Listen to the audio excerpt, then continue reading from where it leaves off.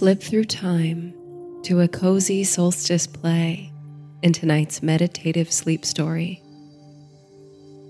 Sleep and Sorcery is a folklore and fantasy inspired sleep series. My name is Laurel, and I will be your guide on tonight's fantastical journey. Sleep and Sorcery is one part bedtime story, one part guided meditation, and one part dreamy adventure. I'm here to help you fall asleep. So, whenever you're ready, feel free to let go of my voice and surrender to sleep. If you're still awake as the story concludes, I'll guide you through a relaxing meditation and sleep countdown. In tonight's cozy sleep story, you have inherited a historic estate in the country. As the winter solstice nears and you finally attempt to organize the storage, you unearth an enormous, antiquated carriage among the effects. Investigating further, you are magically transported to another time and place and into the company of a band of actors who keep the winter cold at bay with a mummer's play.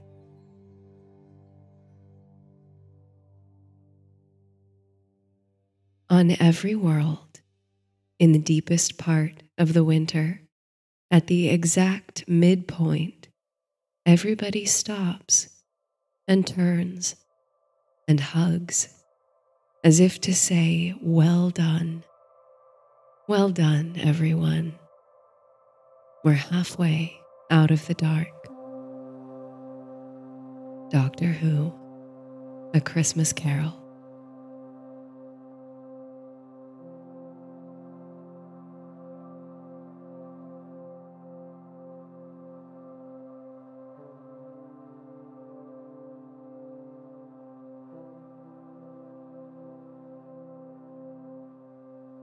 The summer is a time for late evenings exploring your new surroundings, a time for slow paced rides on your horse, getting lost, getting found again, for following your instincts, following your nose. But as the year yields and the days darken, you can feel yourself retreat naturally to the relative comfort of Coventshire House. Since you inherited the remote estate last summer, it seems a lifetime ago somehow, you've spent curiously little time indoors. Whether it's out of sheer curiosity for the wonders that lie in this part of the country, or avoidance of the mountain of household projects, you can't say. It was also very strange and unexpected the inheritance. When you received the news, you thought it was someone playing a trick on you, but you soon discovered it was true. The manor was yours, at the bequest of an uncle you'd met only once, as a rather young child. Your instinct was to sell the place what would you do with a Georgian country house in clear disrepair, or with acres of untended land? But a visit to the country moved your heart and stirred your emotions. So accustomed to city living, you were rapt with awe at the stillness of the mornings and the stately home's silhouette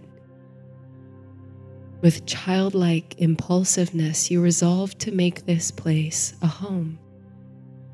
You could have a horse at last, after dreaming of such a thing for years. You could dedicate yourself to restoring the place, a truly fulfilling idea. After you moved in, however, bringing the possessions that had filled and cluttered your city apartment, and now looked meager in the vast halls of the country house, you found ever more excuses to avoid doing the work of restoration.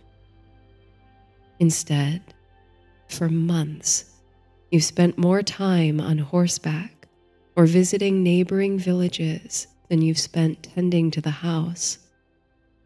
It's been little more than a cavernous place to rest your head at night. Now, as the days grow short and the sun sets earlier and earlier, you must put away those excuses. It's time now to withdraw indoors, seeking the warmth within the walls.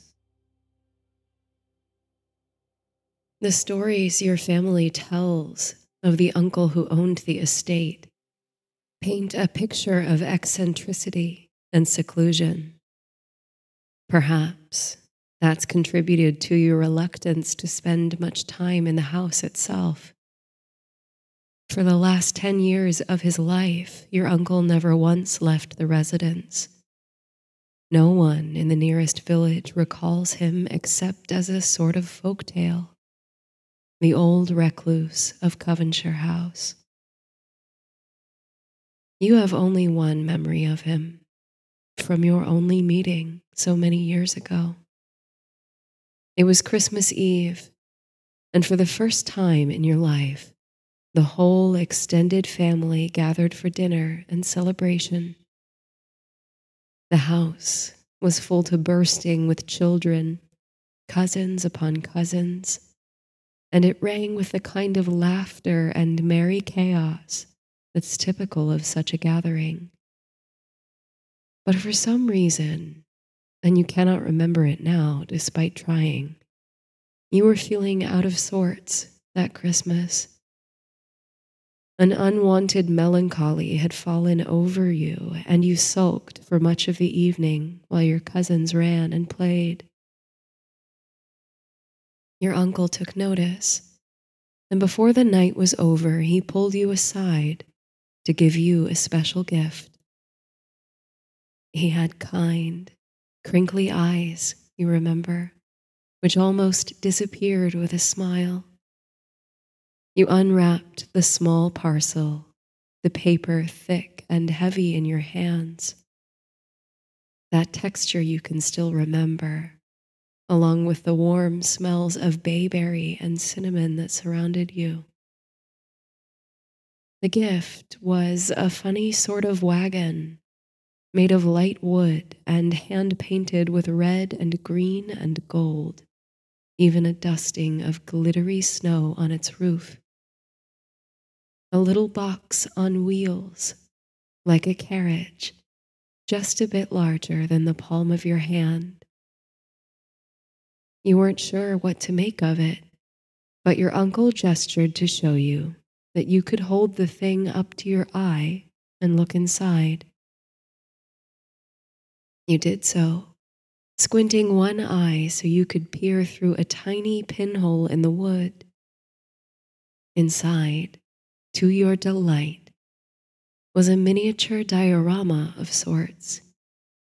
A winter scene with pillowy snow on the ground and sparkling evergreen trees against a black and starry sky. In the foreground was a figure, a merry little man in the costume of a harlequin, with tiny bells on his shoes and hat, frozen with his arms in a flourish. You laughed and marveled at the splendid details of the picture, so minuscule and yet so fine they could hardly be believed.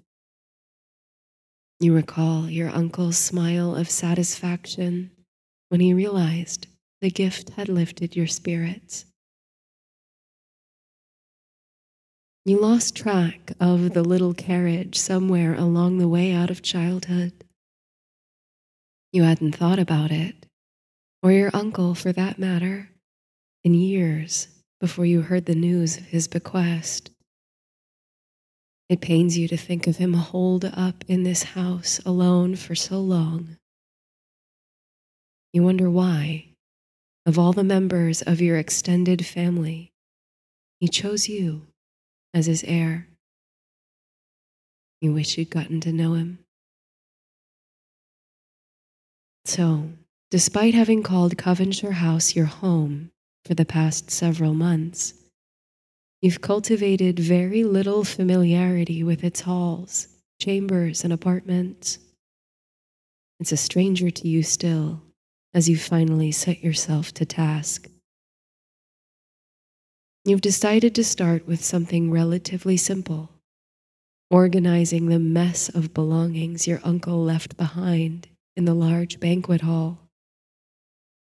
You suppose it didn't see many banquets as the old man got on in years, which must be why it's become less of a glorious chamber for feasts and dancing and more of a glorified storage room. You've set eyes on it only once in the time you've resided here, and it so overwhelmed and intimidated you that you've avoided passing by it ever since. That's easy to do, given the layout of Coventshire House, which has so many staircases and passages, it's possible to take a different route through the house each day of the week. Today, you muster the courage to face the banquet hall again. There's nothing better to do, with the snow blustering through a freezing wind outside.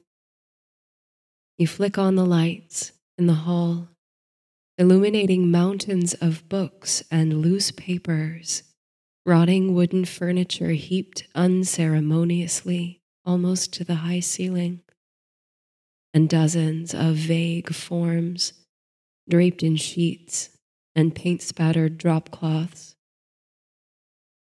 Perhaps it's not such a simple task you've chosen, you think, and for a moment you almost balk at the prospect. You nearly turn on your heel and head straight for the sitting room, determined to light a fire and curl up with a book. But something tugs at you a nagging desire to mark something off your to do list, to put these cold winter days to some good use. Heaving a sigh, you tiptoe into the heart of the chamber, navigating around stacks and piles of objects and archives, careful not to trip or knock anything over, looking for a place to start. You begin with a fairly reasonable stack of books and journals, which you organize into various piles. Books to be returned to the Coventshire House's small library at the end of the hall. Books to be donated or sold in the village. Books with bindings and pages so unsalvageable they must be thrown away. You flip through the pages of the journals, which are an eclectic melange of task lists, stream of consciousness writing, and sketches. There are nature studies, renderings of the view from the sitting room window in different seasons, drawings of birds and foxes and deer who must have happened by that window it's like a little doorway into your uncle's secluded life here. Outside, snow is falling fast and frenzied, dancing on the wind. You find method in the task, and soon you've tackled numerous disorganized stacks and begun to dig some kind of order into the chaos of the banquet hall. The hours slip by steadily as your hands fall into a rhythm of sorts, your mind fading into a tranquil, meditative state. You hesitate to break your stride, but after a few hours, your stomach growls with hunger, and you pull yourself away to make a late lunch and eat it over the kitchen counter. Then back to it Elongated shadows stretch across the room. Until now, you hadn't realized that tonight marks the winter solstice, the shortest day and the longest night of the year. The realization comes to you as you watch the shadows creep across the floor to the ticking of an unseen clock. It reminds you of Stonehenge, that mysterious monument that might be an ancient solar calendar. The shrouded furniture and piles stand in for sarsen stones, marking the months of the wheel of the year. A little shiver passes over you, a flash of synchronicity, perhaps. You first moved to the country near the time of the winter solstice, when the sun shone late into the evening and the earth was bright and green. On one of those lazy exploratory rides, you witnessed something magical in the wild woods to the north.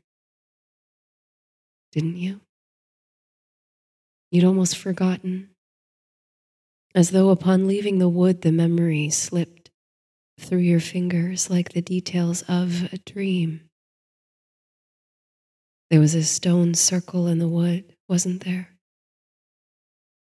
Like a little Stonehenge, hidden away in a forest glade.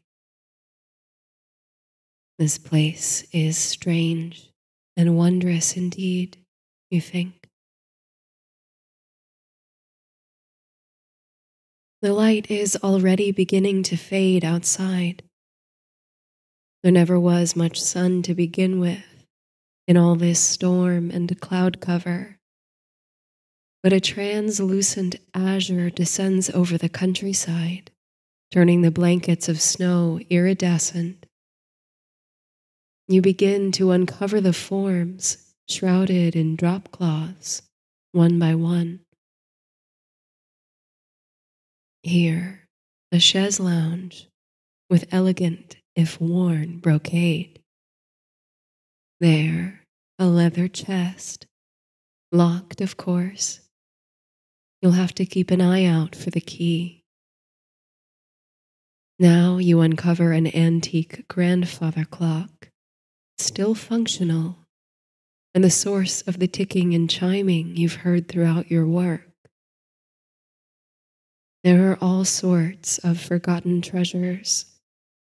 A silver samovar grown tarnished over time, a dust covered rocking horse with black buttons for eyes Many of the items you uncover bring you little gasps of delight. Some need restoring, but you're excited to spruce them up for continued use in the house. You marvel at where it all came from and why your uncle must have hidden everything away in this underused hall. Now you come to a covered mass at the center of the room. You wonder that you didn't see it before, as it looms monumental compared to everything else. But of course, it was obscured by piles and piles of other things books and furniture and the rest. You amble round it to get a sense of its true size and wonder what might be beneath the cloth. It must be the size of a cargo van, you think. What can it be? With some effort, as the cloth is heavy muslin draped over the enormous, hulking thing, you pull down the shroud. Particles of dust fly upward in its wake sparkling like tiny snowflakes in what's left of the light. You wave a hand to clear the dust from before your eyes, stifling a sneeze. And then you see what was hidden beneath the sheet. Almost as big as a house, here in a once lavish banquet hall laden with forgotten things is a carriage. You suppose that's the word. It's like a great windowless house on wooden wagon wheels. Your breath catches as you're thrust once more into childhood memory. You can almost feel the tiny wooden carriage turning over in your hand, almost see the sparkling winter scene that materialized past the pinhole. Though ancient, worn out, and dust laden, this life sized carriage was once surely painted a deep red and gold. There's a faint ghost of lettering on the side, but it's nearly impossible to read. You extend an arm, intent on wiping away a portion of the dust. On contact, however, the dust particles burst forth and hang almost suspended in the air around you. Now you let go the mighty sneeze you've been holding in, and you back away from the cloud of dust. As it begins to settle, you squint to see the writing revealed. Just before it comes into focus, a great and sudden darkness falls around you like the swift falling of a heavy curtain. The storm must have knocked the power out, you think. You look toward the windows, hoping for a glimmer of moonlight to illuminate a path through the stacks, but there's not even the faintest sliver of starlight. You'll have to feel your way out of the banquet hall and get some candles lit, a fire in the fireplace to stay warm while you wait for the power to be restored. What a fine time for an outage, you think, as you extend your arms and begin to shuffle blindly forward. But as you take your cautious steps, in the direction you think of the hallway. The floor beneath your feet seems to change. Where you expect your foot to fall on solid, polished hardwood, floors for dancing and feasting, you start to feel a soft crunch and a sinking. The quality of the atmosphere changes too cold nips at your fingers and nose. Surely you can't have stepped through an open door to the snowy grounds of Coventshire House. If you had done so, wouldn't you see the stars? You look up into the sheer darkness and you double take. You do, in fact, see stars above. It's calm and quiet. The storm clearly and swiftly passed, but delicate flakes of snow still land on your skin and quickly melt against its warmth. Not falling from the clouds above, but blown away off the drifts and tree branches in a gentle night breeze. How amusing, you think? You're so unaccustomed to the halls and passages of Coventshire House that you've walked right out the door. Well, back the way you came then. You turn on your heel, crunching snow beneath your feet. You can see a little better under the starlight. You should be able to see the way back to the house. But that's funny. The house isn't there. How can you have misplaced an entire country manor? But in its place, there is something a structure. You feel a prickling sensation at the back of your neck as you approach it. It's the wagon, the carriage with the funny writing and worn paint. Only the paint isn't worn anymore, is it? It's fine and crimson with shining gold trim. It passes for regal, despite the cart's rustic appeal. You can see it clearly under a bright moon and lit also by a small crackling fire. Oh, the fire looks so inviting as the cold sinks in. You haven't got on a coat or anything to shield you from the chilly night. It would be nice to warm your hands. And whoever lit the fire can point you the way back to Coventshire House. You still can't believe you simply wandered out into the night and got yourself this turned around. Your surroundings are coming into focus under the soft moonlight. A whisper of wind rustles through a copse of evergreen trees, each so perfectly frosted with snow it's like a picture on a Christmas card. The little fire is blazing steadily. You can feel its warmth softening your tension already. There's a tree stump by the fire you see now. Upon it rests a folded cloak. Mercy, you think, lunging for it and wrapping it tight around your shoulders. The effect is instant as the cloak seems to absorb all touch of cold, melting the ice from your muscles and letting you thaw and relax. Looking around for any sight of your benefactor and finding no one, you take a seat by the fire just to warm up for a bit before attempting to find your way home. You let your eyes fall once more upon the wagon now so clean and shining bright like new. This is a strange night indeed.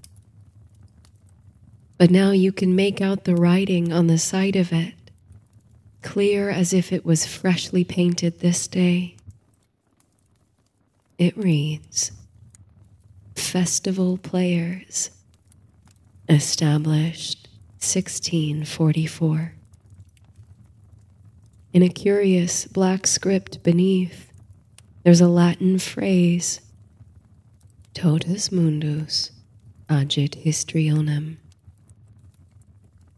You only know enough Latin to understand the first two words, something like the whole world or all the world. Then, without warning, with a creak and a thud, the whole side of the carriage you're now reading falls forward like a crashing drawbridge. You flinch before realizing it won't fall anywhere near you or the open flame. But fall it does, revealing a most splendid, lavish interior. Your first impression is only of candlelight and blurry color bright against the washed out haze of night and snow. It's clear in an instant that this falling open was no accident, but a carefully orchestrated bit of stagecraft. After all, within the chamber of the wagon is just that a stage, lit from below by flickering footlights the platform is richly decorated. It appears to be broken up into three smaller segments, each its own elegant tableau. Painted backdrops flutter slightly from the commotion and the night wind. There's a quiet winter scene, the backdrop painted with falling snow and stars and fir trees. In the center, an interior scene resembling a rich royal palace real deckings of holly and spruce against a luxurious drop. The third tableau is painted to look like a dark cavern with three dimensional stalactites hung from the ceiling of the wagon. You are so enwrapped with the lovely details of the sets that you hardly notice the appearance of a figure on stage. He arrives seemingly out of nowhere, and his guise makes your heart flutter. For here, center stage, is someone you've seen before. Not on the green earth, surely, but in the palm of your hand. He's clad in a harlequin's costume, green and gold with bells on his shoes and hat. He bows low upon the stage, so low that his nose nearly touches the floor, and his bells jingle merrily with each movement. He opens his mouth to speak, and the voice is clear and bright as a bell. Honored guests, to you, a wink and a nod. I am Thomas, he says. Tom Fool, they call me. It is my honor to be your host this evening and to introduce you to the talented troupe of performers who grace our stage. They are the most spectacular, the most entertaining, the most insufferably vain people with whom to share tight quarters, my friends. You catch yourself laughing at this, even in your disbelief. The Harlequin continues. On nights like this, when the wind is cold and the dark overstays its welcome, it's our duty to bring warmth and light to the world, he says. The wheel turns ever on, as they say, and the sun will return if the past is to be our guide. But for tonight, dear friends, let us be your light. Let us be a candle to hold the place of the sun. You let the words sink in, finding them as comforting as a drop of hot tea.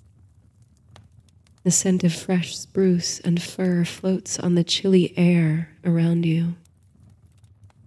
There's a ringing quiet, a strange harmonic tranquility you feel as though you are one among hundreds, gathered together for warmth on a freezing winter night, standing in anticipation before this magnificent stage to hear carols and farce. And yet, you feel too the spell of solitude and peace enclose you. The Harlequin says, And now, without further ado, I present the festival players. Where they've come from, you do not know, but one by one, brightly costumed actors dance across the stage. Their dress gives away their character types immediately. There's a wide eyed ingenue in the robes of a princess, a sneaking black clad villain, an over the top dame, a knightly hero, a pair of boisterous clowns. They parade by with curtsies and bows before assuming statue like stillness in an opening tableau vivant each in their appropriate segment of the stage. Tom Fool, the Harlequin, is the last figure moving. He dances across the stage and pulls faces at the motionless players.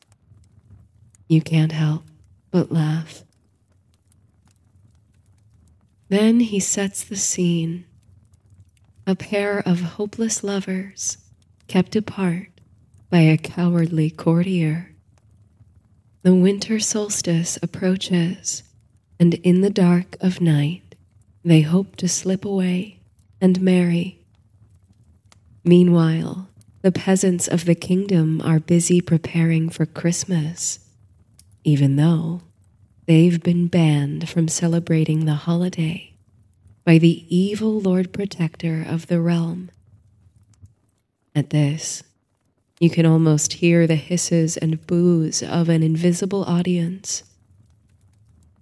Little do they all know, at the outskirts of the kingdom, a beast slumbers in its cave, and it will wake on Christmas Day. What follows the Harlequin's introduction is a raucous mummer's farce, full of slapstick humor and comic asides.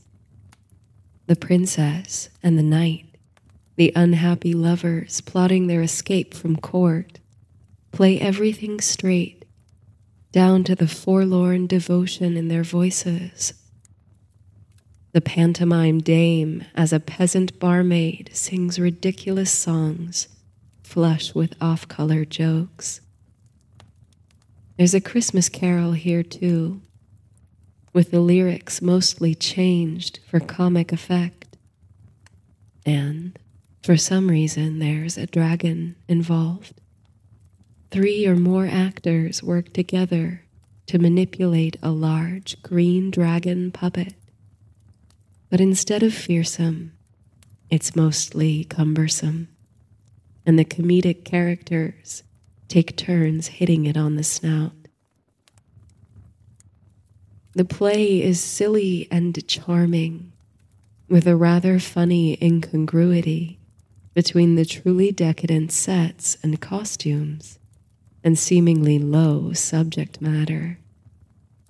You find yourself laughing and singing along with the play, and you even become invested in the various plots the villainous Lord Protector, surely a proxy of Oliver Cromwell, draws your ire, and the droll and bawdy peasants attract your sympathy. But mostly you feel warm, soothed against the darkness and the cold of the winter night by this absurd spectacle. You feel displaced, lifted to another time when to stave off the chill and the dying of the earth, people sought comfort in each other and in stories. Has the world really changed that much? You wonder. Have you changed that much? You watch the play with a rising sense of delight and comfort.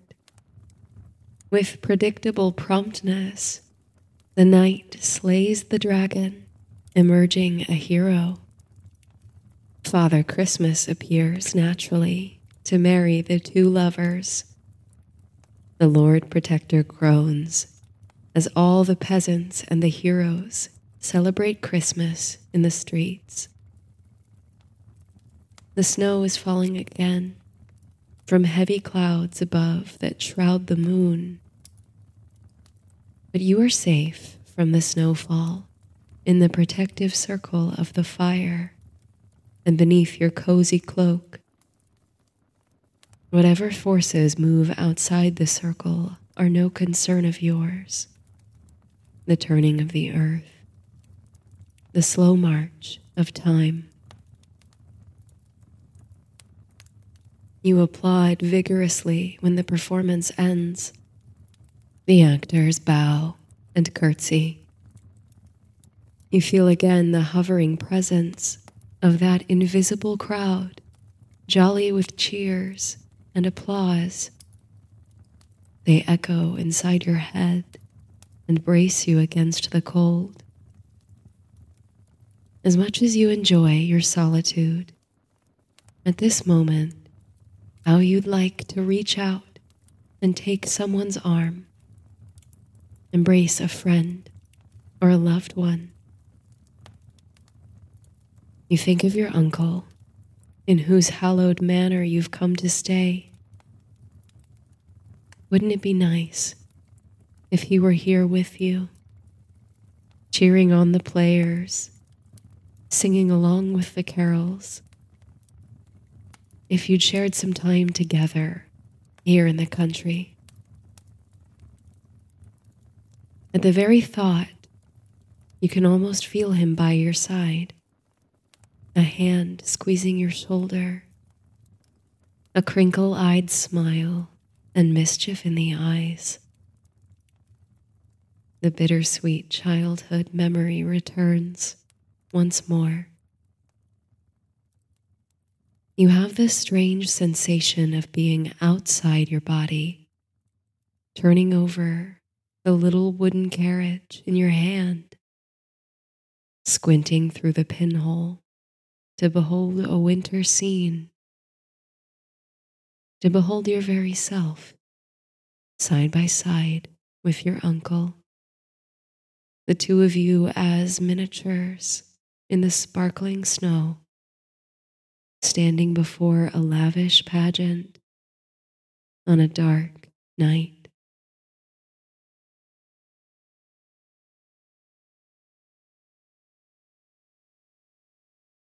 You shift your feet ever so slightly beneath you.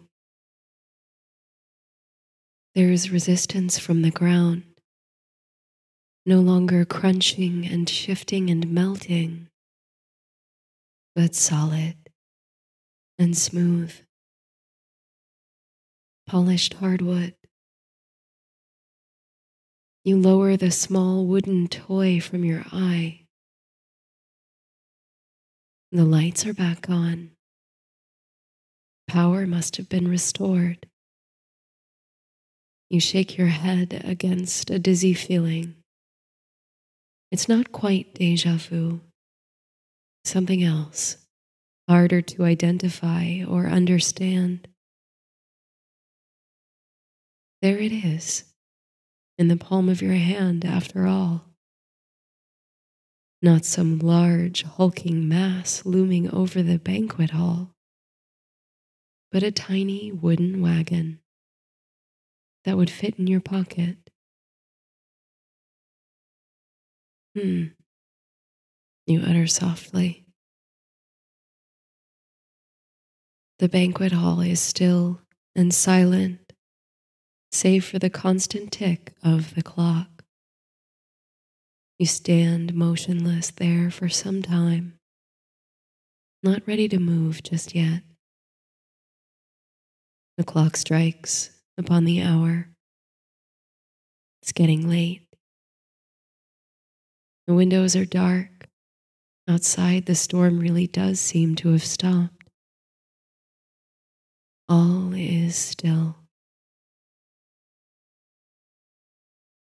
Mustering an effort, you pull yourself from the spot as though wresting out of deep snow, and you move through a narrow path you've carved in the chaos of storage. You'll come back tomorrow and make some more progress. A good night's sleep should clear your head after the strange vision you've just received. Before retiring, you make some herbal tea and relax beside a fire in the sitting room. You bring one of your uncle's notebooks with you, and you flip absent mindedly through it as you sip your tea. Handwritten reminders, fragments of poetry, sketches of local wildlife winter scenes through the window.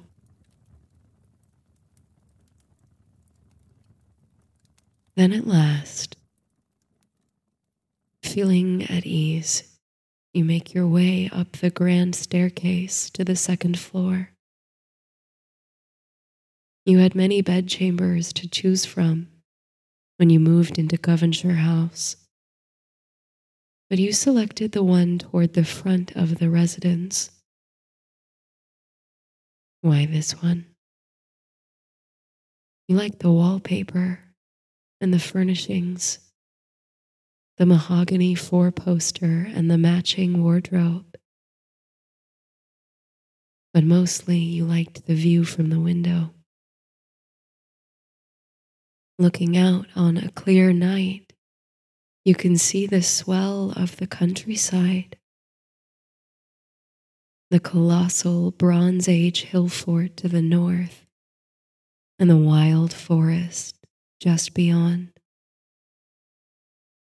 Now it's all blanketed with snow, sparkling in the light of the full moon.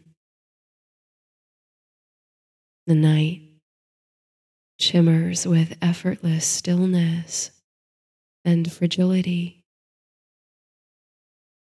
on this longest night of the year, time seems to slow down, almost to a stop, to savor the sweet repose of healing, sustained darkness. You climb into bed, but you don't close the curtains of the canopy all the way. You want to look out the window for as long as your eyes will remain open. It's all too beautiful to waste the world, the night. You place the tiny toy wagon on your bedside table.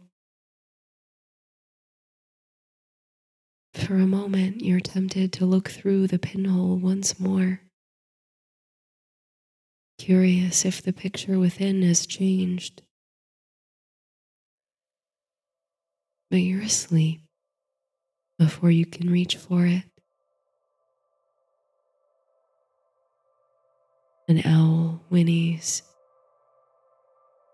Rabbits snuggle together in their warrens.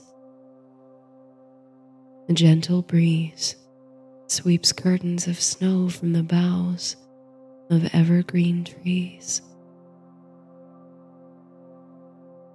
The wheel turns.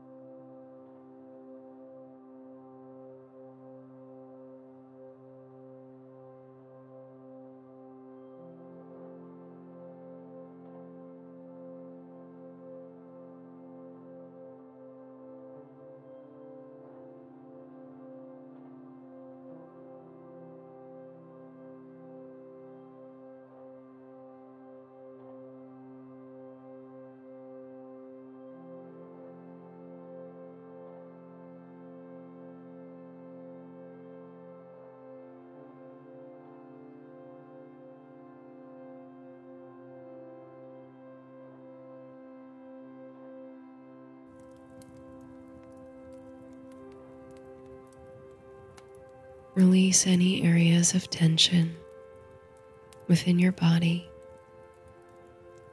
Scan from head to toe to find those areas where you might be tightening and relax those muscles, especially the forehead, the jaw, the neck and shoulders and the hips. Let all the tension just melt away, slowly relaxing into your bed, feeling soft and loose.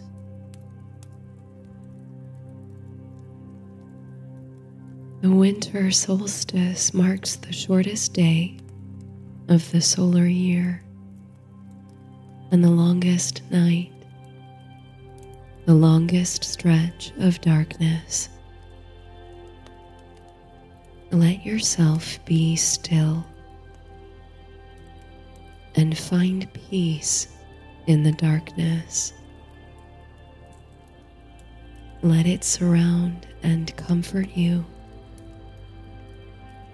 Let it wrap around you like a blanket. And start to let it clear your mind, preparing you for rest.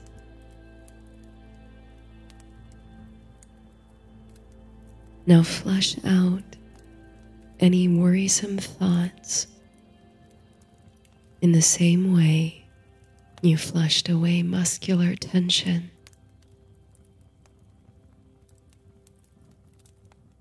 Power that clarity through the safety and comfort of darkness. And tap into your inner darkness, your innermost wellspring, your most authentic self that place from which creativity and inspiration are born. Slide into that inner darkness, the quiet, tranquil space, your place of rest and healing, where you can recover from overstimulation and distraction. Sink down past the layers of consciousness, down level after level, inward and downward into a peaceful place within.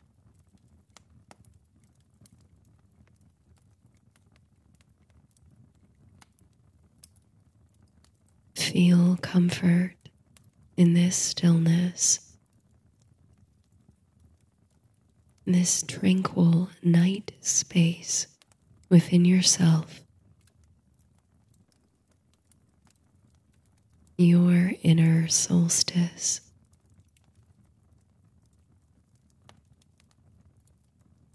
Breathe naturally and feel yourself slide into repose.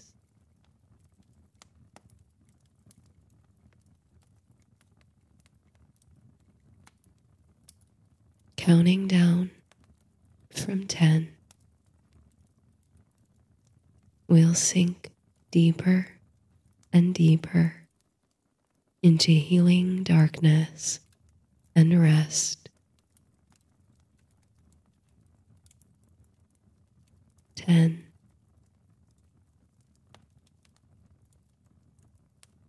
Nine. Eight. Seven. six, five, four, three,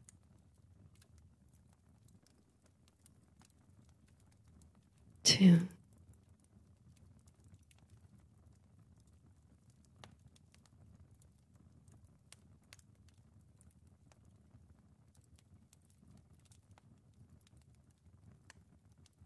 Good night.